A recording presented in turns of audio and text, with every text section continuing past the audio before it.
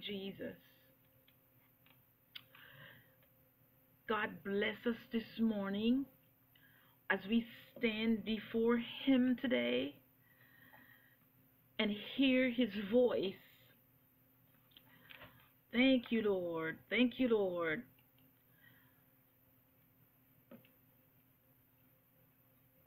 I want to decree and declare over you the goodness of God that makes rich and add no sorrow. I want to decree and declare over you the hearing of the ears in the name of Jesus and receiving of the heart to hear and receive God's truth today. Hallelujah. That the fear of the Lord returns back in the name of Jesus to your heart and your mind today. Praise God. Last week, I started part one of return to the fear of the Lord and quickly.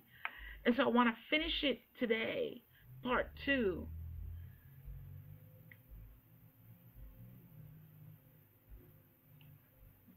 God, this God that we serve, is El Shaddai, the Lord God Almighty. He's El Elyon, the Most High God.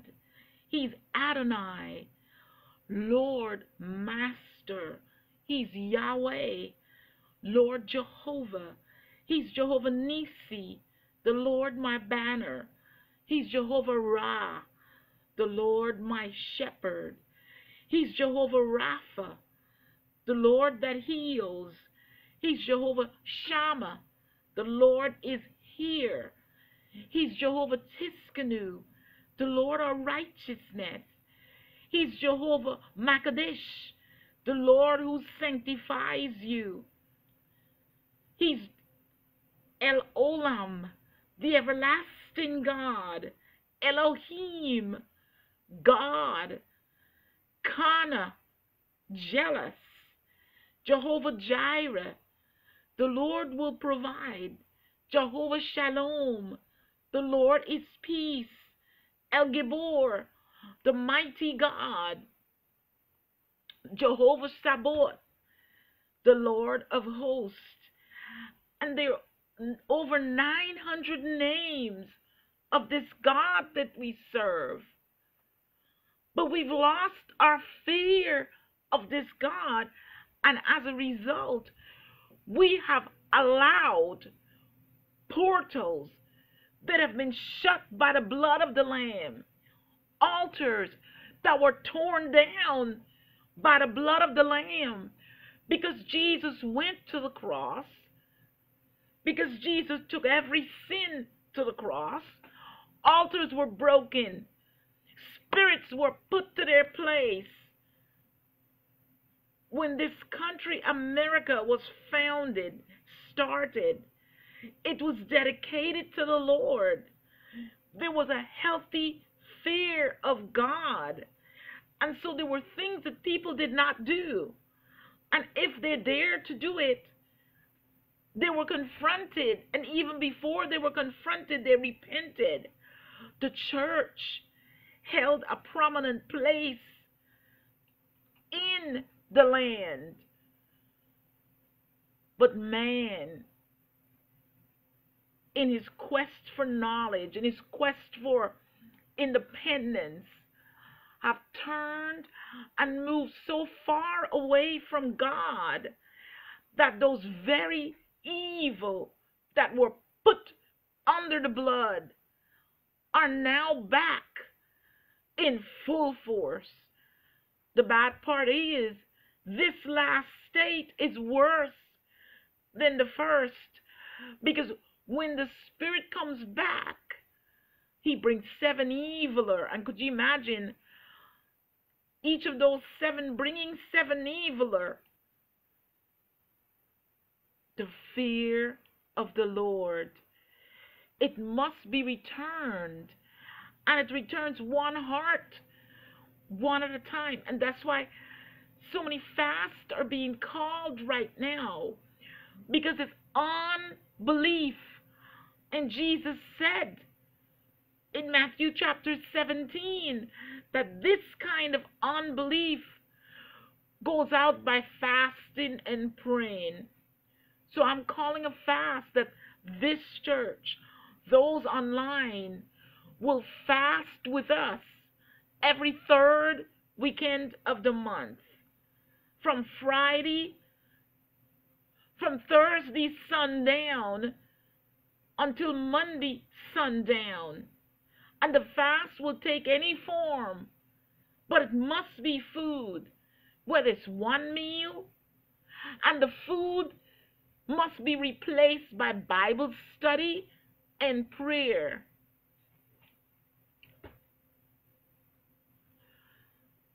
Jesus said in Matthew 21 36, Watch therefore and pray always that you may be accounted worthy to escape all these things that shall come to pass and to stand before the Son of Man. There are things that are going to come to pass. And we have to be accounted worthy to escape those things. Jesus said that except the days were cut short, many will perish. But because of the elect, he will cut those days short. In other words, many of us will escape what's coming upon this world before the end.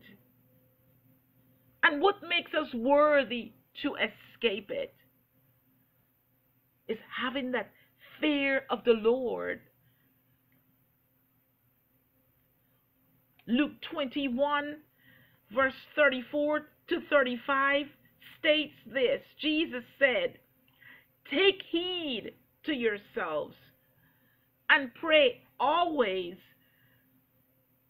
Take heed. In other words, examine yourself, look to yourself. Use this time of fasting and praying. You don't have to join our fast. Join some fast. Do some fast. What does the fast do? it gives us that opportunity to face our flesh and the demands of our flesh and say to our flesh, No, no, I'm seeking God's face. It gives us that opportunity to choose God over the flesh. It gives us that opportunity to say, God, I am so hungry. And I'm using this moment of hunger to turn to you, to ask you by your Spirit to speak into my life, to reveal truths to me. I want to tell you, during this fast, every fast that I do, sometimes it takes me a while to get there. He always let me know you, you need to fast. But when I get there, I am so amazed at what he reveals. And I'm trying to listen to him right now to follow and make sure that I don't say what I shouldn't say. Lord, put a watch to the door of my mouth, that I only say what you want me to say. So he said, Take heed to yourselves, lest at any time your hearts be overcharged with surfeiting and drunkenness and cares of this life. And so that day, that day that is coming, will come upon you unawares, like a thief in the night, so to speak. That's what he said. That's what Paul says in First Thessalonians. Don't let this come upon you like a thief in the night. For as a snare shall it come on all them that dwell on the face of the whole earth. Some of us will be counted worthy to escape. Why? Because we're living in the fear of the Lord. Let's look some more of what it means to live in the fear of the Lord, what the fear of the Lord does. One of the things that the fear of the Lord does, Psalm 99 tells us the fear of the Lord is clean, it endures forever. The fear of the Lord is clean. So, what the fear of the Lord does, it allows us to live a life of holiness. It allows us to smell when the enemy is coming and therefore to take cover through the word of God.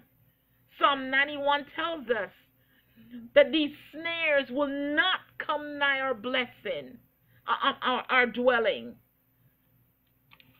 When we dwell in the shelter of the Most High, because we fear Him, when we don't fear the Lord, we don't want to be around Him. We don't want to be where He is. We don't want to be with His people because we consider them judgmental. We consider them holier than thou. That's how we know we're not dwelling in the fear of the Lord. But the fear of the Lord, Psalm 99, is clean. Not only is it clean, the Bible says it endures forever. I love to look up the original meaning of these words what does it mean that the fear of the Lord is clean? Tahor. It means just like I thought. The original Hebrew tahor means it's pure. That's the, the, the word used for it. Pure, fear, so the fear of the Lord is pure. It's not a fear like it says in 2 Timothy 1 7, where it's a spirit of the devil. It's not that kind of fear where we run and hide, where we're scared. It's a fear that brings awe because that love for Him casts out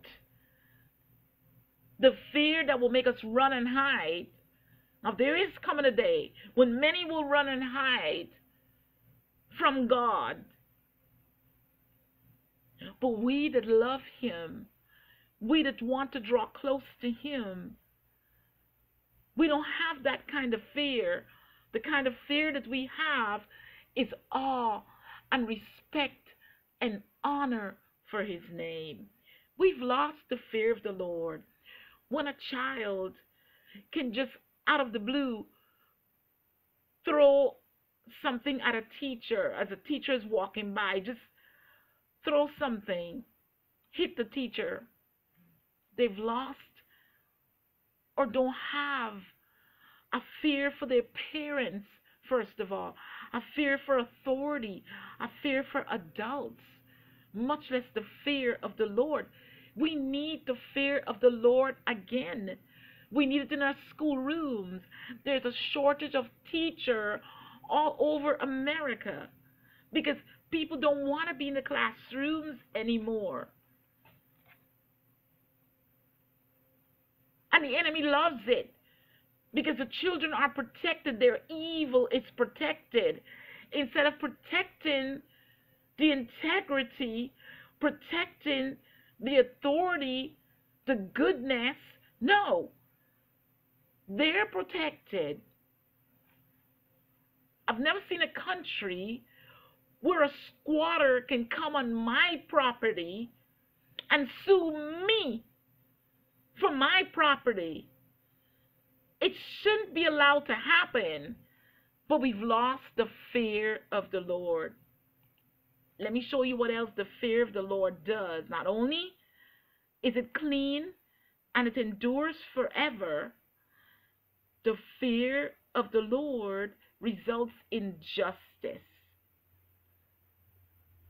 And let me show you that through Jehoshaphat.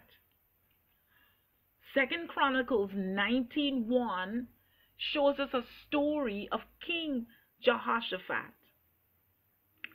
It said after they had a spat, they returned in peace to Jerusalem. And Jehoshaphat set up judges in the land throughout all the fenced cities of Judah. City by city, King Jehoshaphat set up judges. But he told the judges this. Verse 6 of Second Chronicles 19. He says, Take heed, same take heed what you do. For you judge not for man, but for the Lord, who is with you in judgment. Take heed. What does that take heed mean? We started out by telling you take heed, examine yourself, be careful of, be cognizant of this God that we serve, who will pay every man according to his deeds, who every human being, and I'm telling you, death will not hide them from God's judgment. When the time of judgment comes, he will wake the dead, even the dead in the sea. If anybody died out to sea like those in the Titanic, there's still bodies from the Titanic that have Titanic that have not been recovered. They will be recovered and stand before God, the Bible says. So take heed. You will stand before God. Verse 7 of Second Chronicles 19. Jehoshaphat told them, he told the judges, he says, Let the fear of the Lord be upon you. Let the fear of the Lord be upon you, and take heed to do it. For there's no iniquity with the Lord. Our God is no respecter of persons. Our God does not take gifts, take bribes. So he said, Take heed. Let the fear of the Lord come upon you. Verse 9. It continues. He charged them he gives them a strong warning, a strong command. He says, You shall do in the fear of the Lord faithfully and with a perfect heart. You shall do your work. You shall judge with a with you shall judge in the fear of the Lord faithfully and with a perfect heart. Justice happens in the fear of the Lord because you don't dare make wrong decisions. But even our judges have lost that wisdom of God, that fear of the Lord. Job 28 28 Behold, the fear of the Lord, that is wisdom. And to depart from evil is understanding. The fear of the Lord, we showed you last week from Isaiah 11, is a spirit of the Lord. The fear of the Lord. We've lost our fear of the Lord.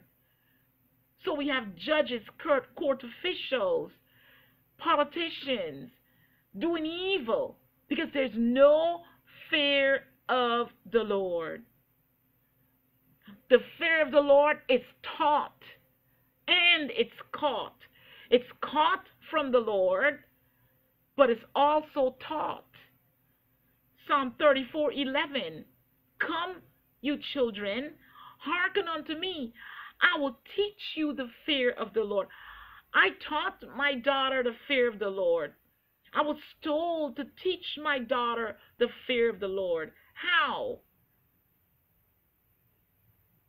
every single day from the time she was about 4 until we were until she was 21 years of age I taught her the word of the Lord every morning before she goes to school I will teach her what thus says the Lord I'll ask the Lord the night before what is it that this child needs to learn what is it that she needs to know? And God will give me something. And so the next day, we will study it. As she got older, there are days then she brought the word. And then young people came to join us, and there were days when they brought the word.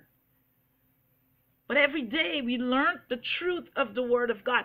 We learned to reason from the word of God. If she came home with a bad report from school, I didn't cuss the teacher out or I didn't tell her what the teacher was. I reminded her, I sent you to school to learn and to bring home to this house A's. I'll accept B's, but you need to bring me A's. That's your job. My job is to go out and bring in the food and the clothes and the shelter and whatever else you need. Your job is to go to school and learn, not to give the teacher a hard time. And I told her, if you are right, I will back you a hundred percent. But if you are wrong, if you are wrong, I will not back you. I will punish you. I will discipline you. So when she came home with the report, I didn't listen to her say, well, the teacher did this and the teacher did that. I sat her down and I said to her, set the scene up. I want to see as if I am in your classroom what happened. That's the only way to make a judgment. And I've taught her to tell the truth. So she'll say, Well, the teacher said that I shouldn't talk. But as soon as she said that, I showed her, You're wrong. You are wrong. The teacher said, Do not speak. There is no but about it. And so we arranged in a situation like that. Like, for instance, one day she was taking a spelling test and she came home with a zero. And I know there's no way that my child should get a zero because her dad and I quizzed her the night before.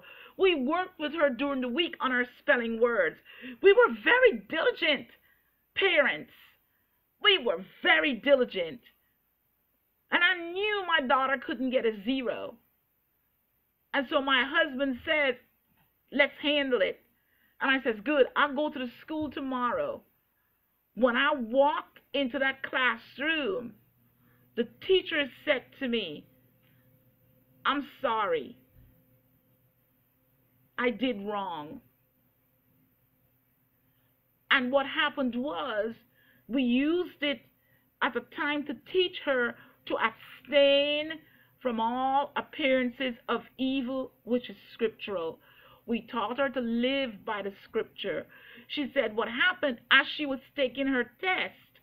The boy behind her kept tapping, tap, tap, tap, tap, tap, tap, tap.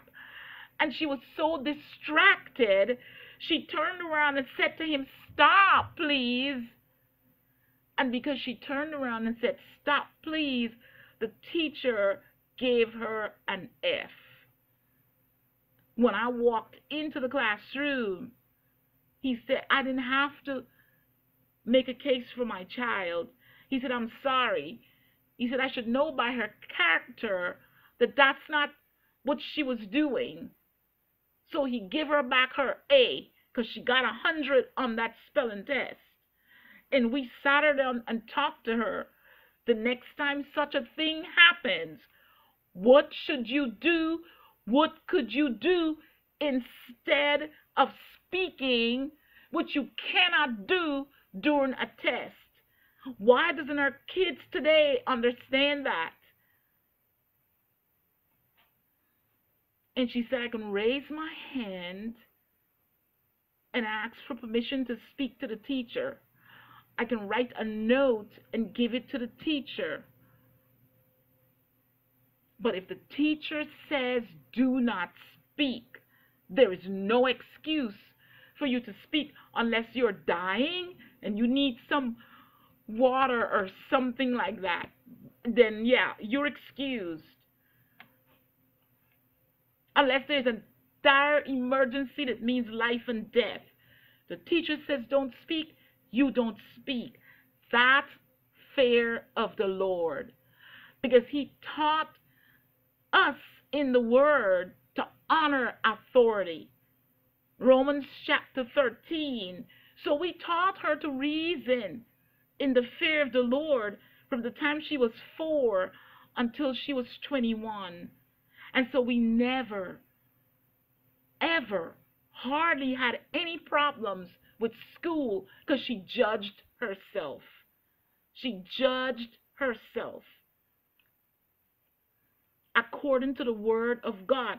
So you teach your children the fear of the Lord. And they start by honoring and respecting you. If your kid is raising their voice at you, I see you putting on Facebook your two year old, your your six month old arguing with you, and you think it's cute. You're opening a portal for Satan to come in. Satan cannot come to a human being unless he has permission. He cannot exist in our realm without our authority. And what gives him authority is anything that's against God's word. So when you teach your child to argue with you and you put it on Facebook, you put it on Instagram, how cute this is. No, you don't do that.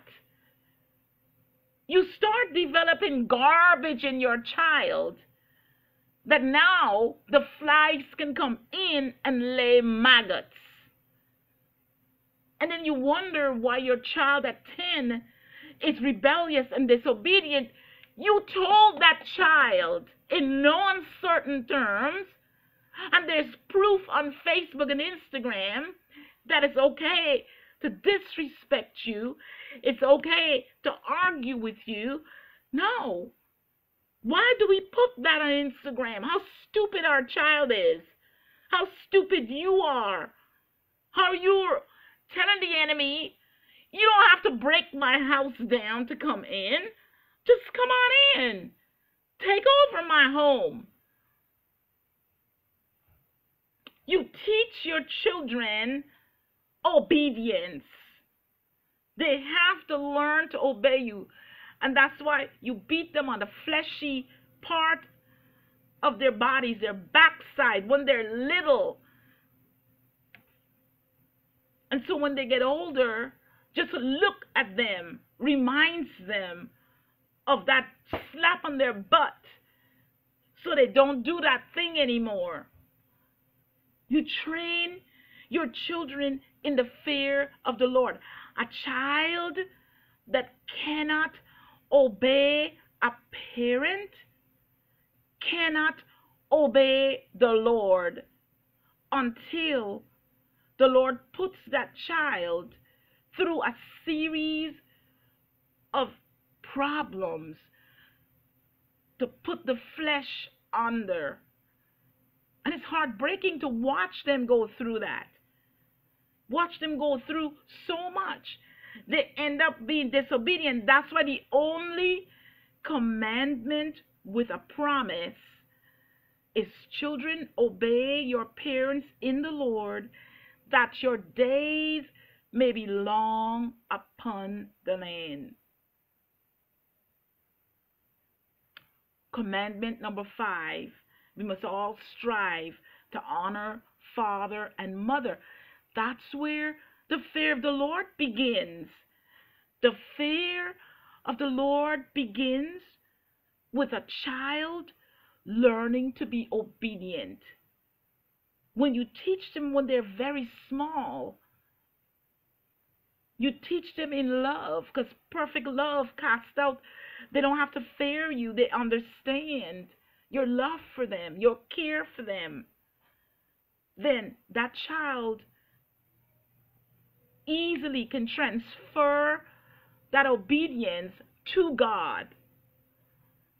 But there's nothing for them to transfer to God because you've taught them to be disobedient. You've taught them to sit in front of the TV and pick up all these subliminal things on TV. Now it's not even hidden anymore. It's not hidden anymore. And you wonder why all those spirits are coming in on them. All the, the spirits are flying around because portals are open in your house. Come, children, Psalm 34 11. Hearken unto me, listen unto me. I will teach you the fear of the Lord. You have to teach the fear of the Lord from the time that child, even in the womb, you're talking to that child about the things of God.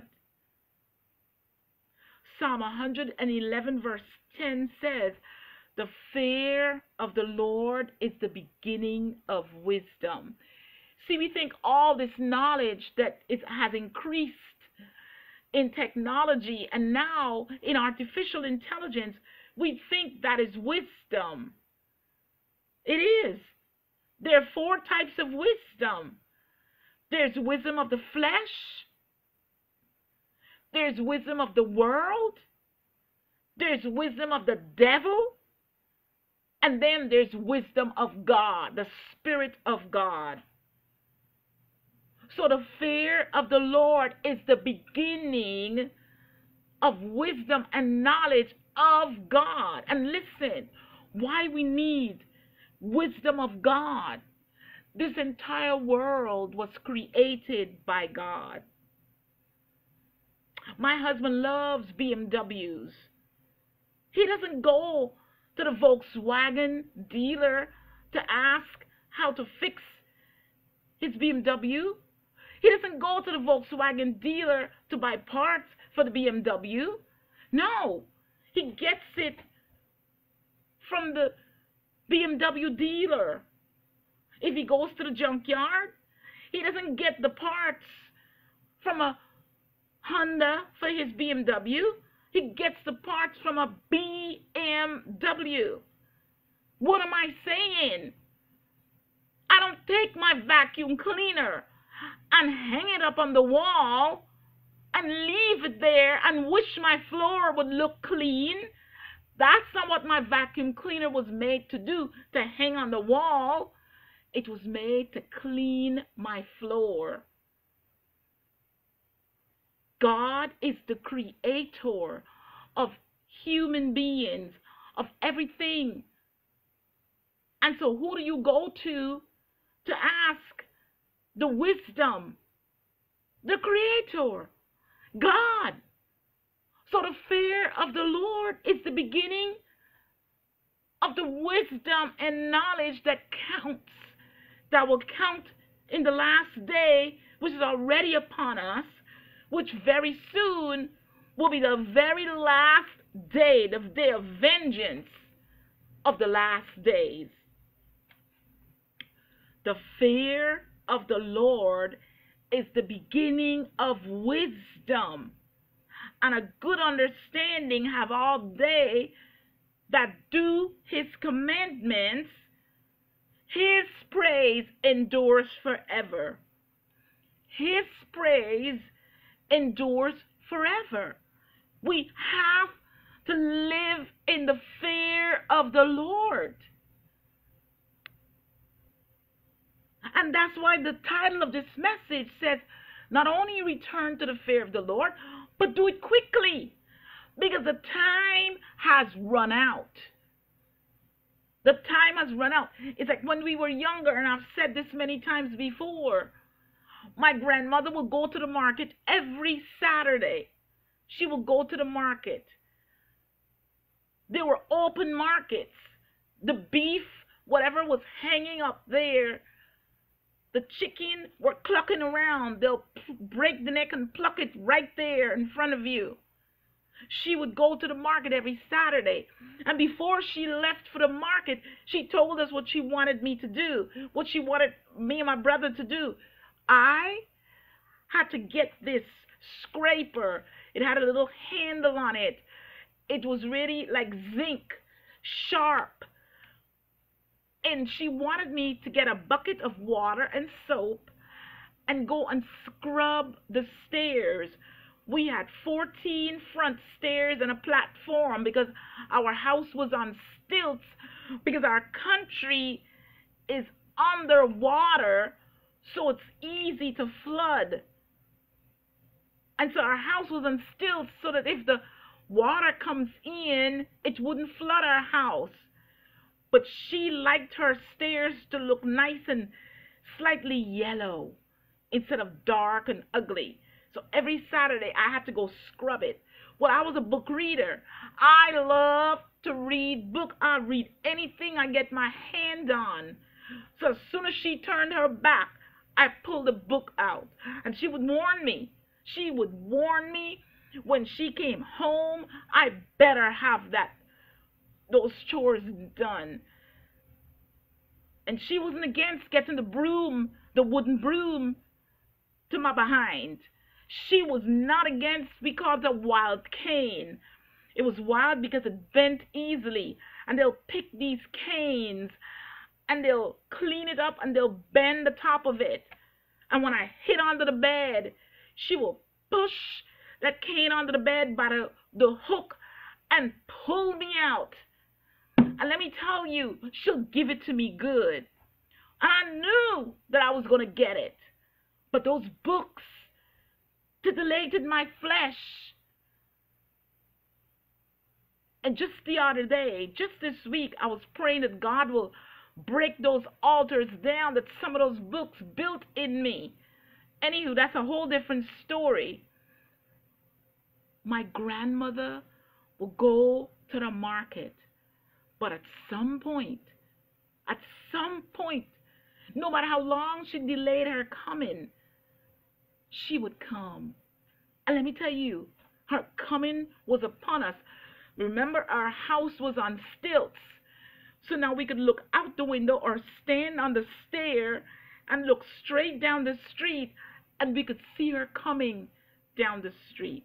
Now it might take her five, ten minutes to get to the house because she's walking, but we could see her coming. We could see her coming. And oh, buddy, I'm telling you, we scrambled to do whatever we're supposed to do. You'll never see how fast we could do that job. Usually, if she's around and we got to do that job, it seems like it took us forever. She'll have to fuss about it. But at that time, when we know that she was upon us, we learned to do that job fast because we knew what was going to happen when she came through that gate and our chore was not done. Same with the Lord. His coming is upon us.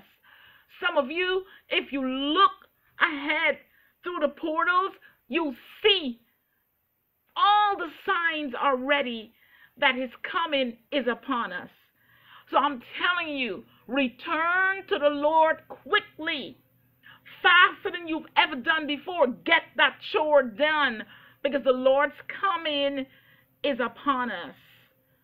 Proverbs 1 7 and Proverbs 9 10 tells us the fear of the Lord is the beginning of knowledge. Now we've got AI. Even Google will show you how they've been enhanced by artificial intelligence. And I want to tell you some of those things that are going to come out soon, some that are already out, are going to be lies. It's going to be based on what a human being, the narrative that a human being wants our disobedient children to run with. The Bible has already been changed in many arenas, just waiting for the right time to present it at large. And you might think, ah, that never happened. I never thought that homosexuality would be legalized. I never thought that such a thing would happen, but it happened less than 10 years ago. We don't have 10 years for the Bible to be presented in your Google search with all kinds of errors because man decided the Bible is outdated. The blood shouldn't be in it because it's too bloody and violent. The cross shouldn't be in it because it's too bloody and violent. Oh, people have already done it. They're just going to do it on a large scale through artificial intelligence searches now without the blood, without the cross. There is no redemption, no Christianity, no connection back to God. The fear of the Lord is the beginning of wisdom and knowledge. The Bible says in Proverbs 1 7, but fools, fools despise wisdom and instruction. And that's what we're seeing today. Proverbs 129 tell us they hated knowledge. They did not choose the fear of the Lord. You can choose the fear of the Lord, or you cannot choose the fear of the Lord. You've got that choice.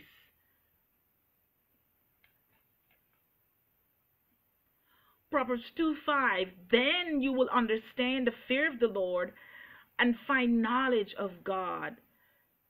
The fear of the Lord is the instruction of wisdom. The fear of the Lord is the instruction of wisdom. And Proverbs 15:33 couples this with honor and humility. Before honor is humility. It's coupled with the fear of the Lord. It's coupled with instruction of wisdom. If you want to be honored, you have to humble yourself before his mighty hand. He will honor you in due season. If not, pride comes and a fall comes, and it's going to. We see it. Satan was kicked out of heaven. He fell because of pride and arrogance. He refused to fear the Lord. He thought to himself, I am beautiful. I am all that and a piece of cake. I should be honored and worshiped. Nobody's going to take God's worship. Nobody. Proverbs 8:33, I'm sorry, Proverbs 8:13 tells us the fear of the Lord is to hate evil. It's to hate pride. It's to hate arrogancy and the evil way and the forward mouth. Listen, that's why Satan was kicked out of heaven. He did not have the fear of the Lord anymore because he allowed pride and arrogancy and the evil way and the fault he dare use his mouth to declare that he was going to be like the most high he was going to set himself upon the edges of the high. He was going to be like God. And we're seeing that same spirit at a large rate in abundance today. Even in those that we consider wise, even in teachers, that are teaching our children who are already challenged with the fear of the Lord. Proverbs 10:27. The fear of the Lord prolong days. The fear of the Lord prolong days, but the years of the wicked shall be shortened. Why? The fear of the Lord keeps you from sexually transmitted diseases. The fear of the Lord keeps you from getting addicted because you're not taking drugs, you're not using alcohol. The fear of the Lord keeps you where you understand that you need to tear altars down from the third and fourth generation behind you who did not fear the Lord, and we're eating the fruit of those who did not fear the Lord. Proverbs 14:27 The fear of the Lord is a fountain of life. The fear of the Lord brings long life. The fear of the Lord is a fountain of life to depart from the snares of death. There's so many snares of death. So many. Right now, the arrow of death is shooting all over, looking for somebody to land on to kill them before their time. And it's upon many because they don't have the fear of the Lord. And so these arrows of death has a right to that person. The person gives them the right. When we don't fear the Lord, we give the arrow of death the right to our lives. And only the blood of Jesus can come in and this is where our families, seeing it, can pray and cry out against those untimely deaths by pleading the blood of Christ for us until we can do it on our own. The fear of the Lord is a fountain of life to depart from the snares of death. In the fear of the Lord is strong confidence and God's children have a place of refuge. We have a place of refuge in the fear of the Lord from the evil around us and that is to come. The Bible says, Better is a little with the fear of the Lord than great treasure and trouble therewith. The fear of the Lord caused many to depart from evil, and we need it. Listen, never an hour do we need it than now because the Lord's coming is upon us. Let's look at a couple of scriptures about the fear of the Lord causing men to depart from evil. Proverbs 16:6 By mercy and truth iniquity is purged and by the fear of the Lord, men depart from evil. Being afraid of God's wrath, being afraid of God's judgment, and those who love Him, being afraid to hurt Him, not wanting to hurt the God we love, cause us not to go the evil route. Proverbs 23 17. Don't let your heart envy sinners. Some of us look at people and we think, oh my gosh, they're living so large, they're living so good, and here I am suffering. The grass is always greener on the other side. What you don't understand, the reason why their grass is green, because it's growing over the septic tank. But sooner or later, that grass growing over the septic tank is going to die and dry up because the septic tank is not the right bacteria that it needs. So it's going to be short lived and temporary. So don't let your heart envy sinners, but you be in the fear of the Lord all day long. Be in the fear of the Lord all day long. Proverbs 19:23 The fear of the Lord tends to life and he that has it shall abide satisfied. He shall not be visited with evil. You may not have a lot, but if your house has peace, if your children are happy and joyous, I mean, there was a day when we didn't have two nickels to rub together, but our house was full of laughter and peace. That's riches.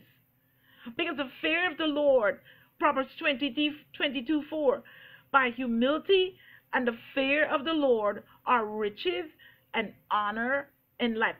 And it was so neat because the three children at the time, the teenagers, we didn't have money, but they were always getting honored. They were always getting honored. So now I had to rely on my mommy's J.C. Penney card to buy them a dress, to buy Luther some outfit, because here he's gotten honored for some artist work that he did. Here she's gotten honored, Nicole's gotten honored for being what they call them, you know, the, the one in the class who's um, honored as as the leader of the class or whatever. They were always getting honored. By humility and the fear of the Lord are riches and honor and life. So we didn't have two pennies to rub together. But we had peace and we had love and we had joy and we always ate and ate well because of the Lord. One day soon, listen, as I come to the end of this message, one day soon, the fear of the Lord will cause many to hide in horror or bow in honor. But we all, every living being and every dead being, will raise up and worship and honor the great God. Isaiah 2:10 Enter into the rock and hide you in the dust for fear of the Lord and for the glory of his majesty. There's coming a day when many, it says in verse 19 of Isaiah 2, shall go into holes of the rocks and into the caves of the earth for fear of the Lord and for the glory of his majesty when he arise to shake terribly the earth. Verse 21 of Isaiah 2 Go into the clefts of the rocks, into the tops of the ragged rocks, for fear of the Lord and for the glory of his majesty, when he arise to shake terribly the earth. There is a day coming. Philippians 2:10 tells us that at the name of Jesus, every knee should bow of things in heaven and things in earth and things under the earth, and every tongue will confess that Jesus is Lord to the glory of God. So, in the end, it will come. It will happen. Isaiah 35 5 tells us the Lord is exalted, He dwells on high. the fear of the Lord, verse 6 of Isaiah 33 tells us the fear of the Lord is his treasure. The fear of the Lord. The Lord will be exalted. He will. There's no doubt about it. So let me conclude with this. I want to challenge you to return to the fear of the Lord. Examine yourself. Where have you lost the fear of the Lord? So you call yourself a Christian. And no doubt you are. But are you walking in the fear of the Lord? Are you gossiping? Are you slandering people's names? Are you talking bad about the pastor? Are you disrespectful and dishonoring to your spouse? Then you're not walking in the fear of the Lord. The Bible says in Malachi chapter 2 that the man who dishonors his wife the Lord will not hear his prayers.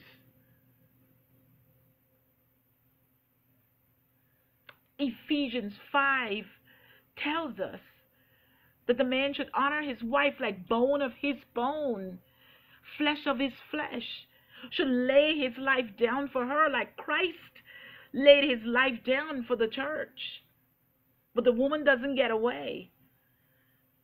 The Bible shows that she should honor her husband and protect his ego. Not disrespect and dishonor him. If not, we're not walking in the fear of the Lord. Acts 9:31 shows us that the churches had rest throughout all Judea and they were all walking in the fear of the Lord. If there's division in the church, if there's gossip in the church, the enemy has entered in, witches have entered in, and the fear of the Lord is not there. And if the pastor is part of the gossiping, that's worse. Let's return to the fear of the Lord. It says the church, it says the churches walked in the fear of the Lord, Acts 9 31, and in the comfort of the Holy Ghost, and they were multiplied. There's a story in the book of Daniel, as I come to the end of this message. There's a story in the book of Daniel that I'm not going to read about King Nebuchadnezzar.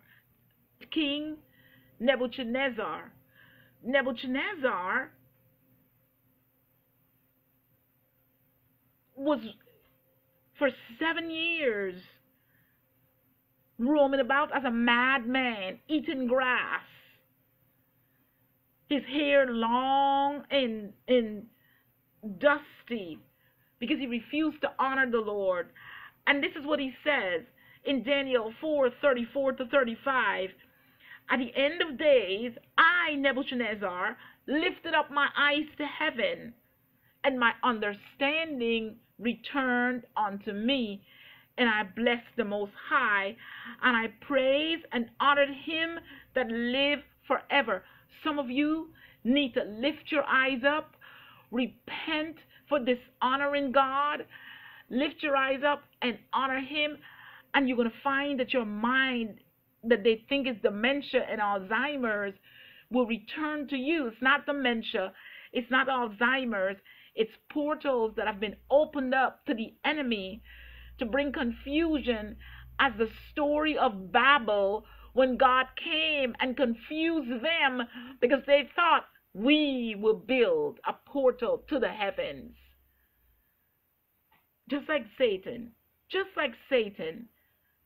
And some of you lifted up your heart and your eyes against God, and confusion has come in because you opened the portal to those spirits. And you need to lift your eyes up like Nebuchadnezzar did and bless and praise the Most High he says this I blessed the Most High, and I praised and honored him that lived forever, whose dominion is an everlasting dominion, and his kingdom is from generation to generation, and all the inhabitants of the earth are reputed as nothing. And he does according to his will in the army of heaven and among the inhabitants of the earth and none can stand, sorry, none can stay his hand or say to him, What are you doing? We, like Nebuchadnezzar, need to repent and realize who God is. And we need to do it quickly. The Bible says, In the end, it shall tarry, but it will come. And just like my grandmother, as we look up the street, was coming, and even though it might take her 10 minutes to get to us, five minutes to get to us by the time we spotted her, sure as the day was long, she arrived to inspect our work. He is on the way.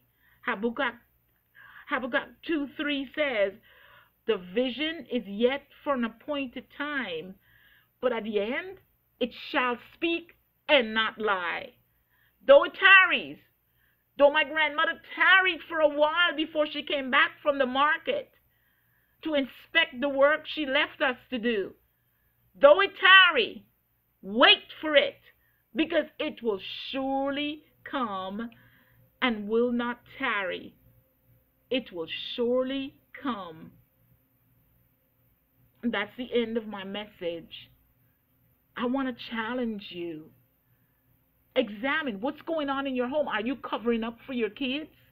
They're living like hell, but you don't want to tell them they're living like hell because you don't want to lose favor in their sight. They don't have any favor in your sight. It's like the story my grandmother told me of the young boy who got sentenced to prison for the wrong deeds that he did. And as he was in the courtroom, he asked the judge, Can I bid my grandmother goodbye? And the judge says, Yes, you could. And handcuffed with the security with him, he went over to her and leaned down to kiss her.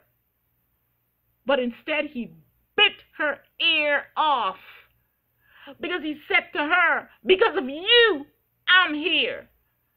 Because you covered for me and you didn't teach me what was right and good. Are you so out of the fear of the Lord that, like Eli in the Bible, you refuse to discipline your children? And so they're living like hell?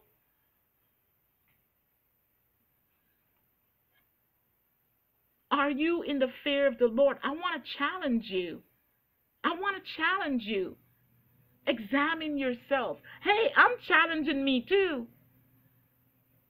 The Lord took me back to about maybe 30 something years ago and showed me something that I allowed in my daughter that I had to repent for. Just last night, that have opened up little altars that the enemy works in. And you wonder why certain things aren't working. It's because you have portals opened up and the enemy hiding in your flesh, in the house, in your children, and you need to examine in the fear of the Lord. Stop hiding it. Stop hiding it before it's too late. When you stand before God, it's too late. When you close your eyes in death, it's too late. When your child closes eyes in death, it's too late. That's what the Bible says. While there is yet time, while there is time, today is the day. Today is the acceptable day of the Lord. Today is the day to call on the name of the Lord. Today is the day to repent and receive the blood of Jesus upon you to cleanse you again. The pure water of the Word, the power of the Holy Spirit. Today is the acceptable day. This is the acceptable year, the day of vengeance. His coming is close. His coming is close. And when he comes, it's too late. It reminds me, I saw something about ordering these books and leaving it on your table so that when the rapture comes and some people get left, at least they'll see those books and have an idea what happened. I think it's by it's by Jimmy Evans. I think it's it's about um where did all those people go? Something like that. So I ordered one to put on my table because I don't plan to be here. And I'm crying out. I've got on my mirror a list of all my blood family. And I'm calling their names out. And those in my blood family who are working Obeah. doing evil deeds. One hand claiming to serve the Lord and the next hand serving Satan. It doesn't happen that way. You can't serve two masters. You can't date Jesus. You can't commit adultery on Jesus. He's an all in all God. It's either Him or nothing. He said you can be hot or cold. He says if you're lukewarm, those lukewarm ones, you're working Obeah. You're going to the shamas. You're going to the Obeah man and paying him money to pray for you, pray for your children, pray against people that love you because you're envious and jealous. And you're claiming to serve God with the other hand. You're lying to yourself. You're not in the fear of the Lord. It's an abomination to go to Obeah. It's an abomination to go to witch doctors. It's an abomination to serve idols. It's abomination. God says, me or nothing. He says, if you're lukewarm, I'll spew you, make me sick. I'll spew you out of my mouth. So stop. I want to tell you, stop the Obeah. Stop the witchcraft. Stop the double mindedness. You're not fooling anybody because God is showing those who are close to Him what you're doing, and it's only His mercy is keeping you alive. Mercy in the prayers of your loved ones. Thank God for the blood. Amen. So God bless you. Be encouraged. Take what I say to heart. This message is not for the faint hearted. Get serious with God before He arrives, and then it's too late. Return to the fear of the Lord quickly. I love you. Should He say the same? I will talk with you Thursday. God bless.